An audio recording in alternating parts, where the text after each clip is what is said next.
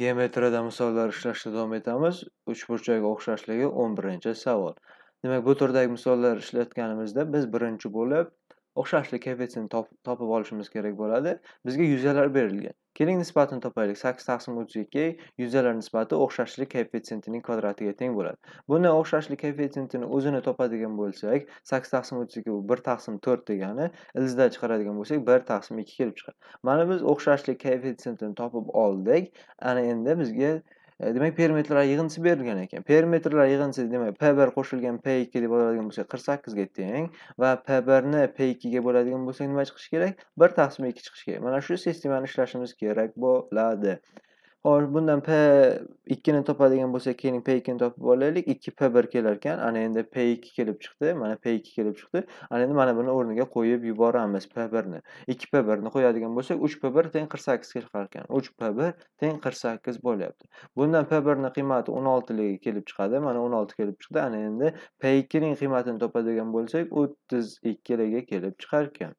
Bizdan nima so'ralgan? Nechinchi 11-misolda kichik uchburchakning perimetrini toping. Kichik uchburchak perimetri 16 bo'lyapti. B javob bo'ldi. 11-misol.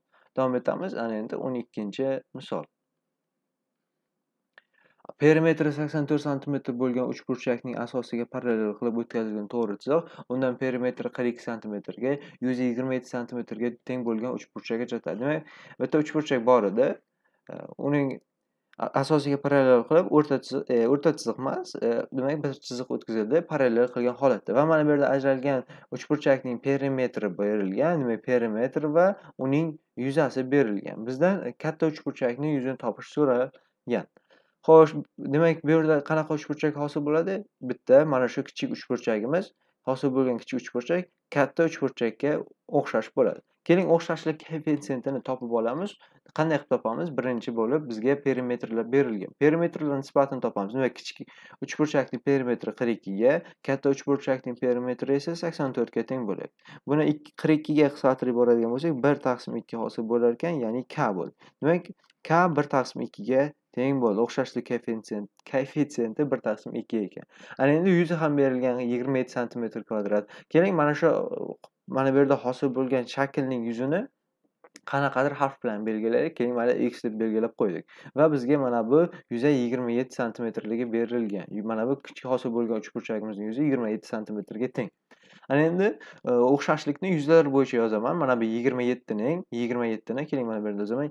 27 ni katta uchburchak yuziga nisbati 27 qo'shilgan x ga nisbati o'xshashlik koeffitsiyentining kvadratiga teng bo'lishi kerak. O'xshashlik koeffitsiyenti mana perimetrlar orqali topib oldik 1 taqsim 2.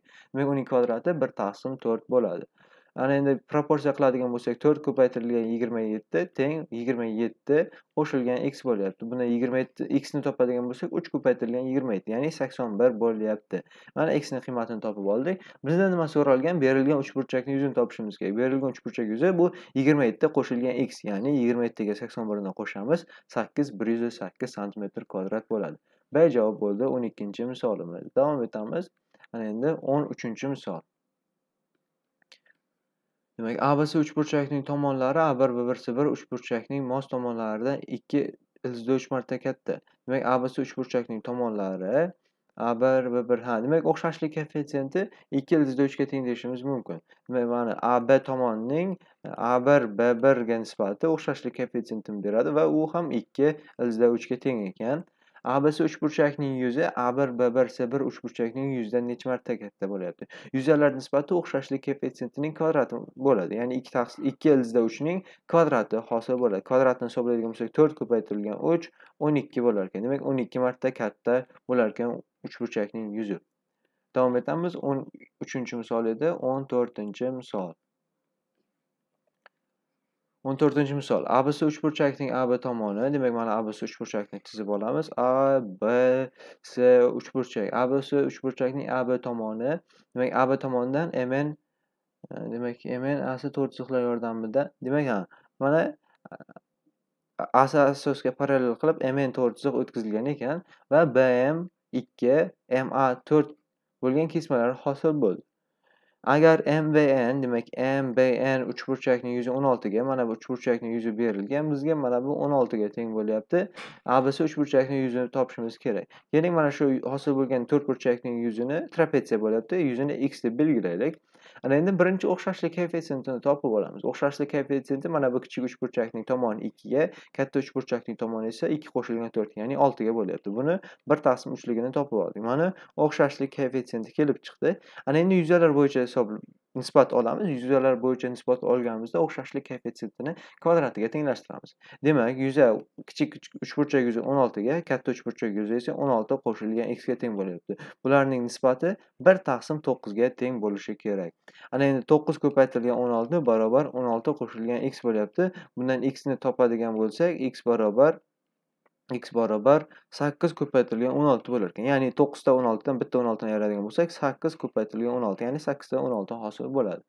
Bizdan nima so'ralgan? 14-misolda ABC uchburchakning yuzi. Demak, ABC uchburchakning yuzi, e, demak 8 ga 16 ga bitta 16 ni qo'shadigan bo'lsak, 9 dan 16 bo'ladi. Ya'ni 9 ko'paytirilgan 16 bu 144 ga teng bo'ladi. Demak, ABC uchburchakning yuzi 144 ga teng bo'lyapti. D javob. Davom etamiz. 16 o'n o'n o'n o'n yo'q, 15-misol bo'lar ekan. 14 ni ishladik hozir. 15-misol. Perimetri 48 ga teng bo'lgan uchburchakning har bir tomoni 4 taga 4 ta teng kesmalarga bo'lindi. Bo'linish nuqtalaridan tomonlarga parallel kesmalar tutashtirilgan. Shu kesmalar uzunliklarini yig'indisini toping. Demak, qaraymiz mana perimetri berilgan bo'lgan, perimetri berilgan mana shu uchburchakning bizga perimetri berilgan. Ana endi aytilyapti, bo'linish demak perimetri 48 ga teng bo'lgan uchburchakning har bir tomoni 4 ta teng kesmalarga. Demak, mana shu 4 ga bo'lingan. Mana bitta, mana ikkita, mana 3 ta. Mana bitta, ikkita, 3 ta, 4 ta kesma hosil bo'ldi. Mana bu yerdan ham shunday. Demak, 3 ta nuqta hosil qilishimiz kerak. Mana, mana va mana bo'ldi. Va bu tomondan ham keling teng 3 ga, teng 4 ga aniqrog'i 4 ta kesmaga ajratamiz. Bizdan savol so'rayapti. Bo'linish nuqtalari tomonlarga parallel kesmalar bilan tutashtirilgan. Kesmalarning uzunliklarini yig'indisini topishimiz kerak bo'lyapti. Perimetr Demak, mana shular tutashtirildi. Demak, mana bu, mana shunday, mana shunday qilib tutashtirilgan.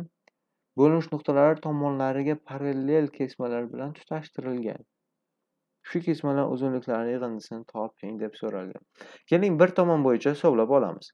Mana bu tomonni asosni A deb belgilab olaylik. A deb belgilaydigan bo'lsak, Mana bu yerda hosil bo'lgan kesma nimaga teng bo'ladi? Mana shu o'rtadagi teng kesma bu uchburchak uchun o'rta chiziq bo'lyapti. Bu o'rta chiziq demak uchburchak asosining yarmiga teng. Ya'ni mana shu chizig'imiz nimaga teng bo'lyapti? A taqsim 2 ga teng bo'lyapti.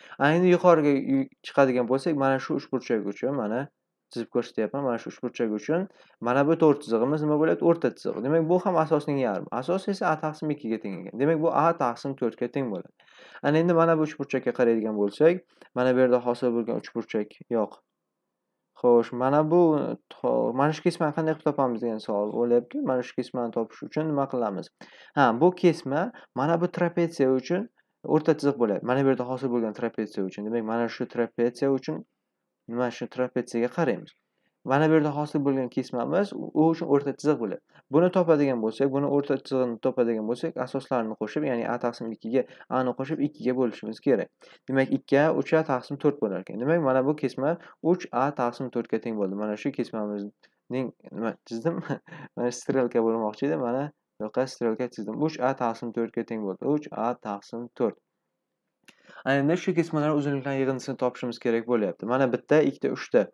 Shu uchtala kesma yig'indisini qo'shadigan bo'lsak nima bo'ladi? Demak, A hosil bo'lar ekan. A qo'shilgan A taqsim 2, ya'ni 3 A taqsim 2 hosil bo'lar ekan. 3 A, A taqsim 2. To'g'rimi? Demak, A taqsim 4 ga 3 A taqsim 4 ni qo'shadigan bo'lsak A haligi A taqsim 2 qo'shadigan bo'lsak, 3 A taqsim 2 bo'ldi. Demak, barchasini qo'shadigan bo'lsak nima hosil bo'lar ekan? 3 taqsim 2 marta katta chiqar ekan. Demak, shuni 48 ni 3 taqsim 2 ga ko'paytirishimiz kerak bo'ladi. 48 ko'paytirilgan, demak 48 ko'paytirilgan 3 taqsim 2 bo'ladi. 24 ni 3 ga ko'paytirsak 72 hosil bo'ladi. Demak, ularning barchasining yig'indisi 72 ga teng bo'ladi. Ya'ni men nima qildim? Mana bu tomonlar bo'yicha ham o'zi aslida o'tkazilgan. Demak, mana shu kesma, mana shu kesma va mana bu kesmalar o'tkazilgan va bu kesma qismalarining yig'indisi ham baribir mana shu tomonda agarda qanaqadir b deb oladigan bo'lsak, 3b taqsim 2 ga hosil bo'ladi. Demak, 3a taqsim 2 qo'shilgan 3b taqsim 2 qo'shilgan 3c taqsim 2 ni hisoblashimiz kerak. Agar barchasini 3 taqsim 2 ni qasddan tashqari chiqadigan bo'lsak, a qo'shilgan b qo'shilgan c hosil bo'ladi. Ya'ni perimetr. Mana 3 taqsim 2 ko'paytirilgan perimetr. Shu hosil bo'ladi baribir. Demak, 72 degan javob bo'ldi 15-misolimiz. Davom etamiz. 16 16 misol. Demak, misol shartini o'qiyman. A1, B1, C1, A2, B2, C2 uchburchaklar o'xshash.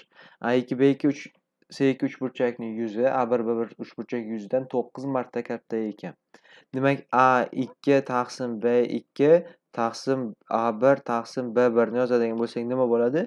Bu uchburchaklar yuzi Demak, 9 marta katta ekan biri ikkinchisidan. Demak, o'xshashlik koeffitsiyenti nima bo'ladi? 3 bo'ladi. Demak, katta uchburchakning tomonini kichik uchburchakka bo'ladigan bo'lsak, 3 kelib chiqar ekan. O'xshashlik koeffitsiyenti 3 ga teng bo'lyapti. Ana endi nima so'ralgan? A1, B1 uchburchakning 3 ga teng bo'lgan tomoniga mos bo'lgan A2, B2, C2 uchburchakni tomonini toping bo'lyapti. Demak, A2, B2 ni topadigan bo'lsak nima bo'ldi? 3 A1, B1 bo'ldi. Ya'ni katta uchburchakning bir tomoni kichik uchburchakning har bir mos tomonidan 3 marta katta bo'lar ekan.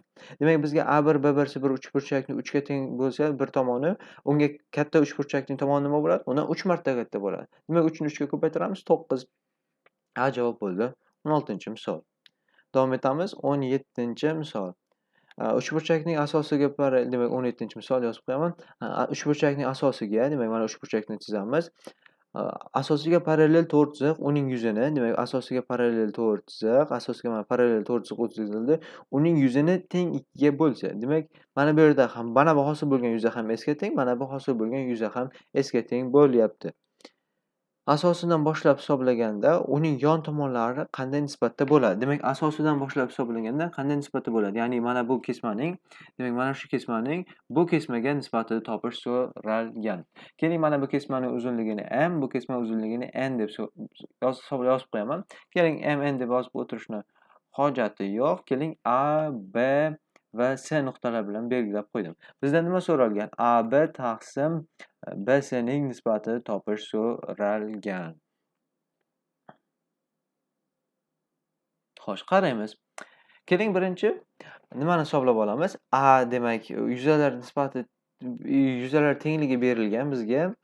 E, o'xshashlik koeffitsiyentini topib olamiz. Ya'ni, o'xshashlik koeffitsiyenti deganda biz nimani hisoblab nazarda tutamiz? Demak, katta uchburchak bo'yicha yoza qolaylik. Demak, ASni, ASni, mana bu AC kesmani BC kesmaga nisbat, AC kesmani BC kesmaga nisbati nima bo'ladi?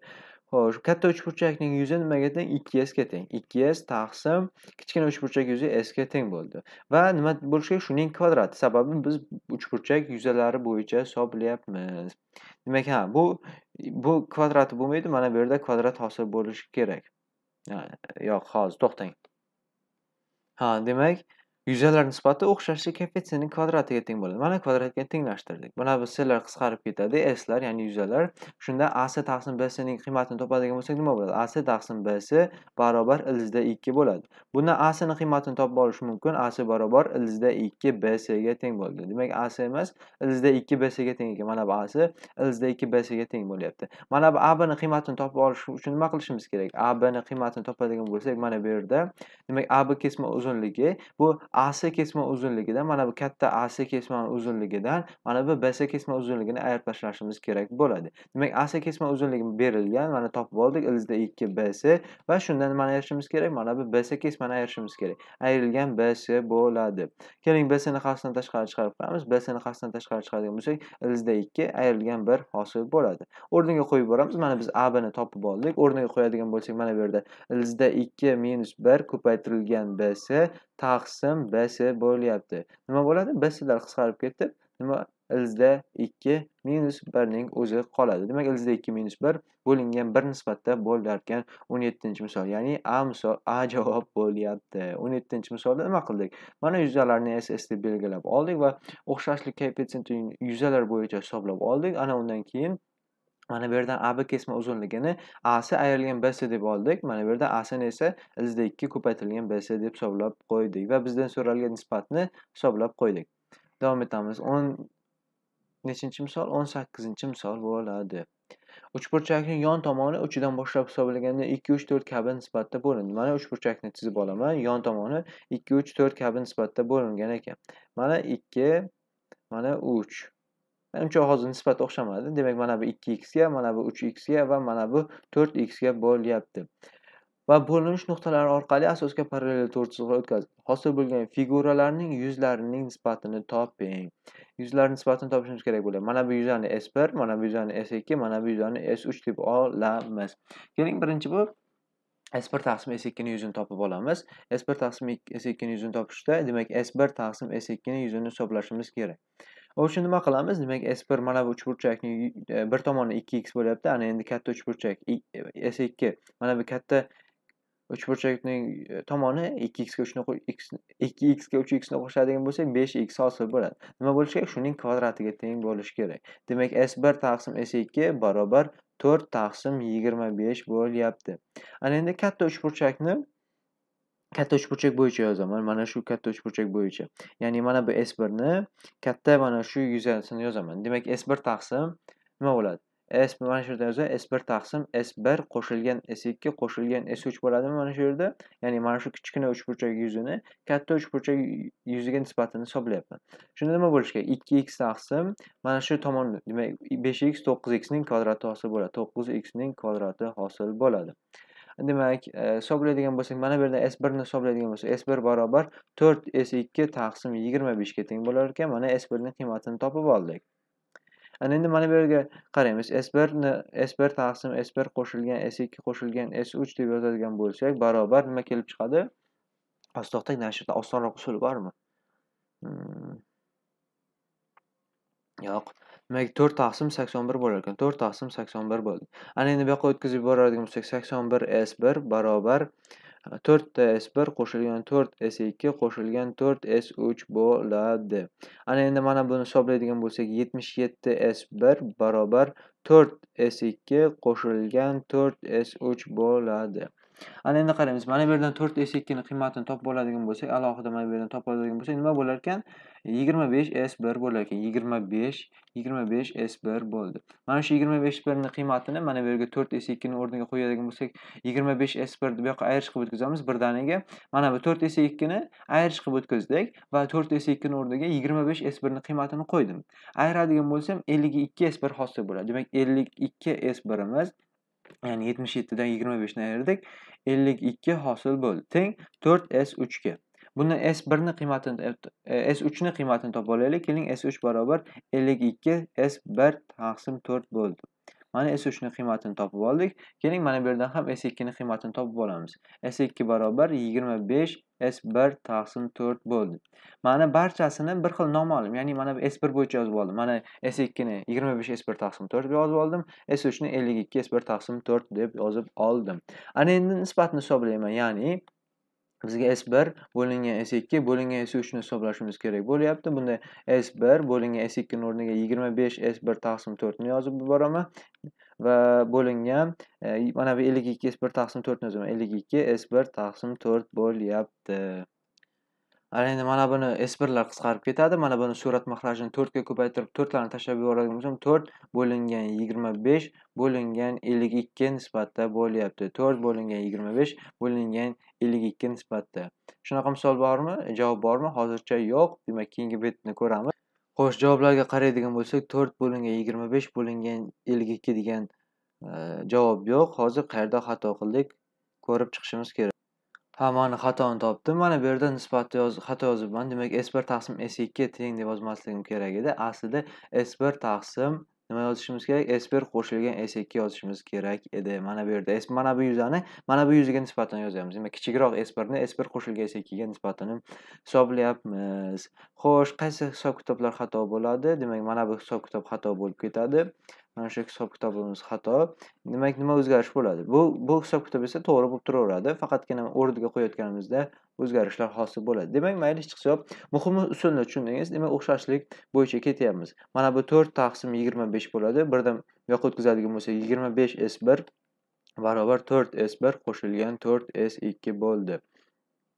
Yoqqa o'tkazadigan bo'lsak, 21S1 barobar 4S2. Bundan S2 ni topib oladigan bo'lsak, 21S1 taqsim 4 bo'ldi. Mana S2 ning qiymatini topib oldik. Mana S2 barobar ekan 21 demak S1 taqsim 4 bo'ldi.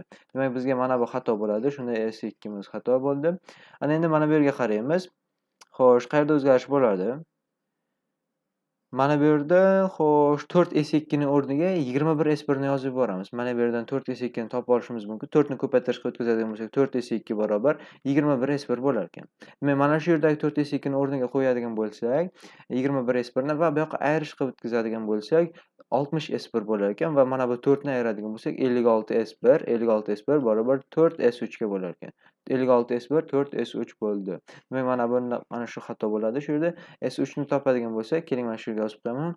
S3 barobar 56 taqsim 4. 56 taqsim 4 bu 14 bo'ladi shekilli. s 3 imiz demak 14 e, demak S1 ga teng bo'ldi. 14 S1 ga. Mana hammasini topib oldik. Nisbatni hisoblashimiz kerak. Endi S1 taqsim S2 bo'lingan S3 nisbatimiz nima bo'ladi? Mana bu yerga yozaman. Birinchi S1 turadi o'zi, ikkinchi S2. S2 o'rniga o'rniga 21 S1 taqsim 4 ni yozadigan bo'lsam, 21 S1 taqsim 4, e, S3 o'rniga o'rniga 14 S1 ni yozaman. Ana endi 4 ga ko'paytirib yuboradigan bo'lsak, mana bu yerda nisbat nima o'zgarar ekan? Mana shu nisbatimiz o'zgaradi. Nima bo'lib o'zgaradi? Xo'sh, mana bu 4 21 ligicha qoladi va 14 imiz 56 ga o'zgaradi. 4 21 56 degan javobimiz bormi? 4 21 56 degan javobimiz bor ekan. D javob bo'ldi. Demak, bu 18-misol edi. Davom etamiz. 19-misol.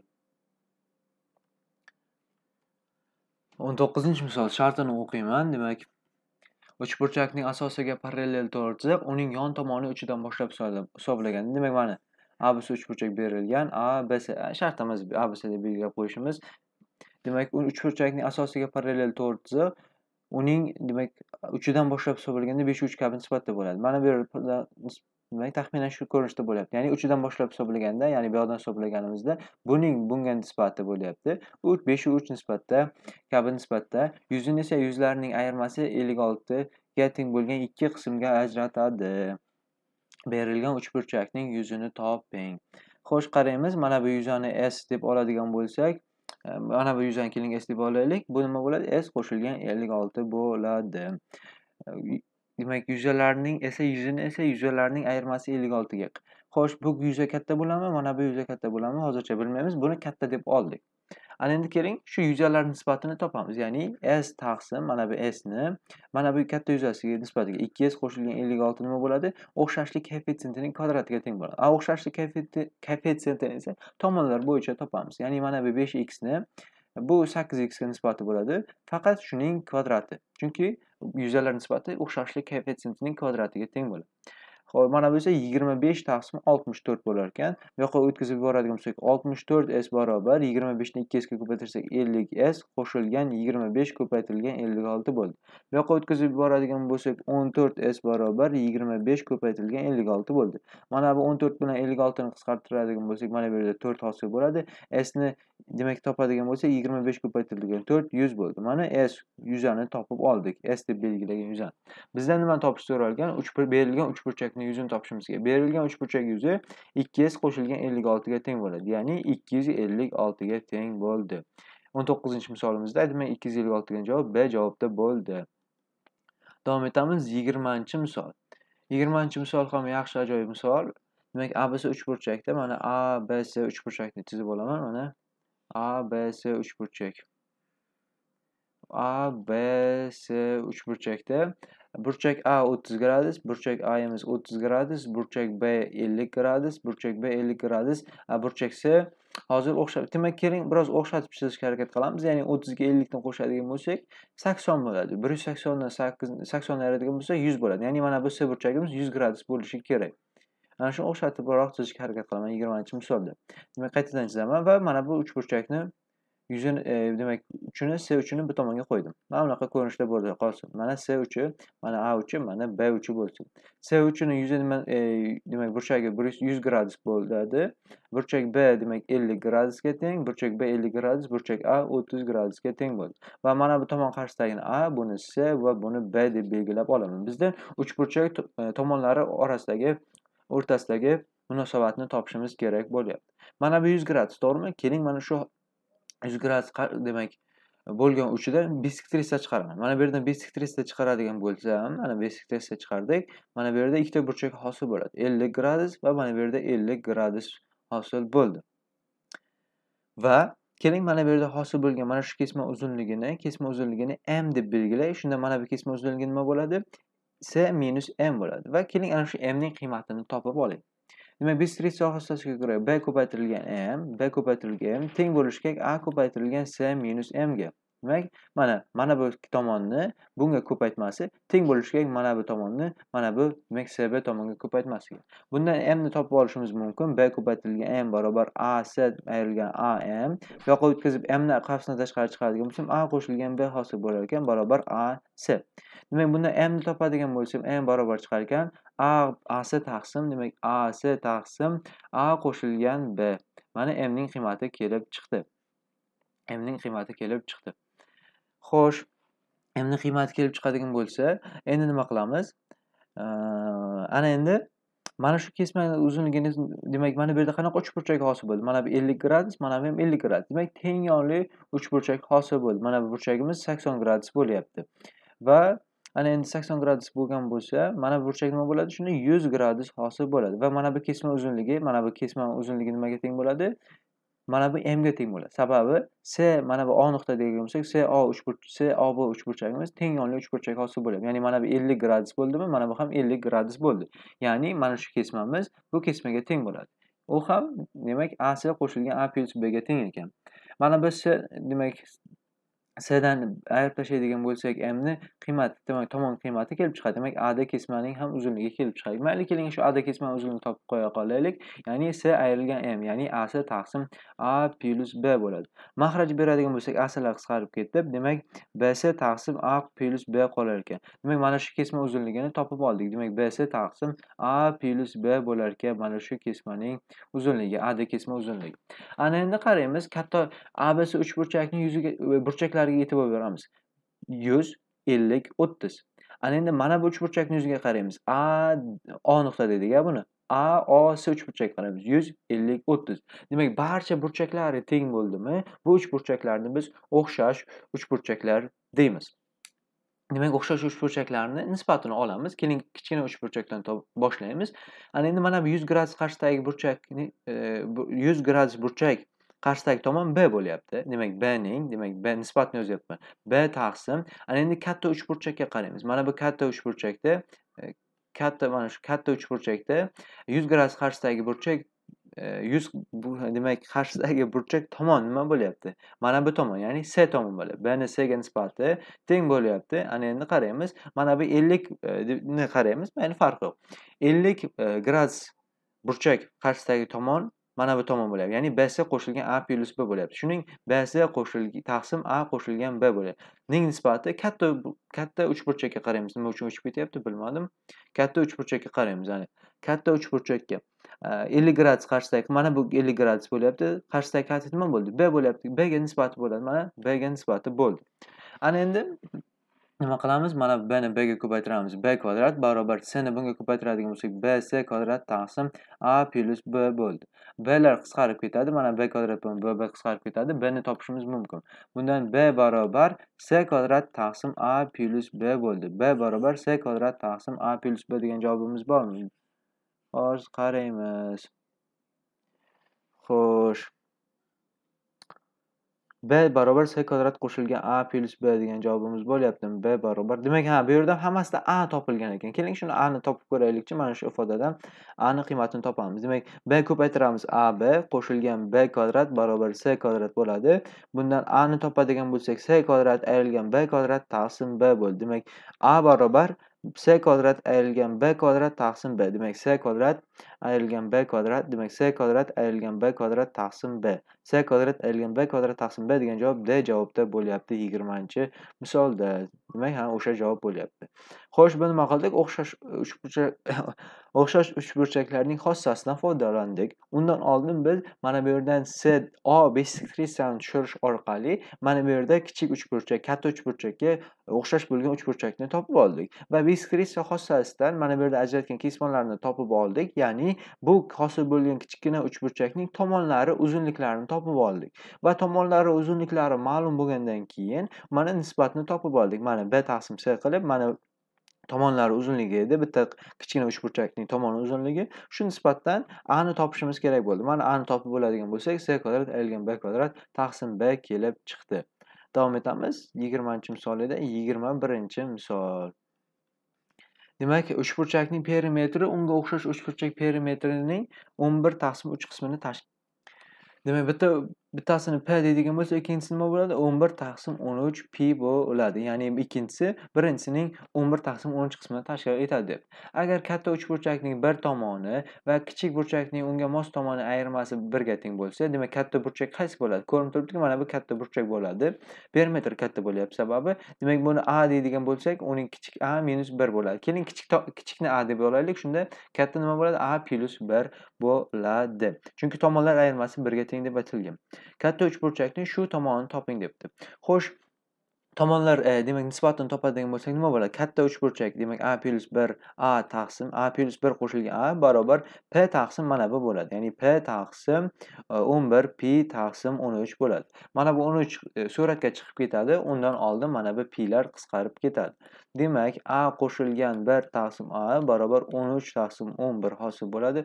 11 ni ko'paytirish qilib o'tkazib yuboradigan bo'lsak, 11a qo'shilgan 11 barobar 13a bo'ladi. Bundan 2a barobar 11 dagi keladi. a ning 5.5 ekanligini topishish muammo bo'lmaydi. Bu tenglamadan a barobar 5.5, ya'ni shu tomon uzunligi 5.5 bo'ldi. Shu bilan uchburchak o'xshashligiga doir misollar tugaydi. Keyingi darslarimizda to'rt burchaklar mavzusini boshlaymiz.